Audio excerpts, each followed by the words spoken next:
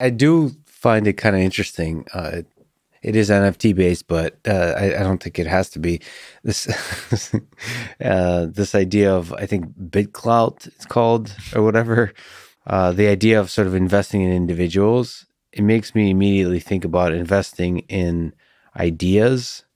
So even just the words you speak having value, um, and sort of if you have a frictionless like automated financial system then you could do a bunch of interesting things about what it means to add value to the world.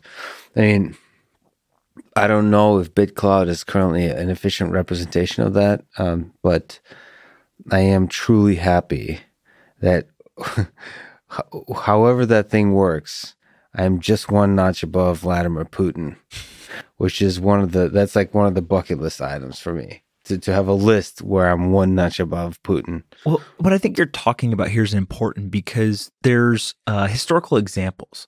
You could invest in a patent in some situations. You could invest in an organization that has an idea, right? So these are super inefficient given kind of the the vision that you're painting in terms of like investing directly in an idea in a super efficient automated fashion. Yeah.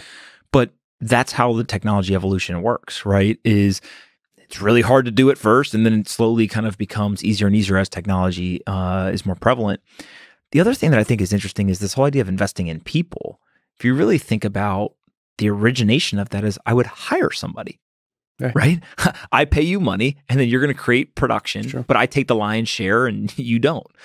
Now there's things like uh, these uh, ISAs, these income sharing agreements, where basically I will educate you on something, train you on something.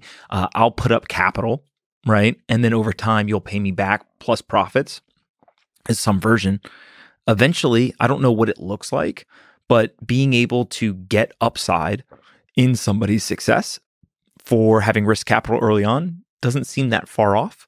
Mm-hmm. You see it in professional sports. You see it in you know a lot of these things, and so I just think that a lot of um, the focus right now is on the technology, but ultimately these are ideas that are very old and have had lots of success and traction. And we're just merely standing in the way of the evolution of these ideas with new technology. And so uh, it's easy to get caught up in the technology, but when you really zoom out and look at it from the ideological standpoint and kind of the, the progress of humanity, it's a foregone conclusion this stuff's going to happen.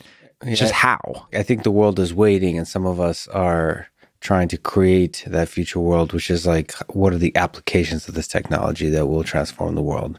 And then, you know, I hate the term, but killer apps, like cool ideas that uh, are implemented effectively at scale that transform the world. And there's been a, there's been a lot of different ideas popping up. Like the there's a lot of ideas about social networks that are built on top of the technology and all that kind of stuff.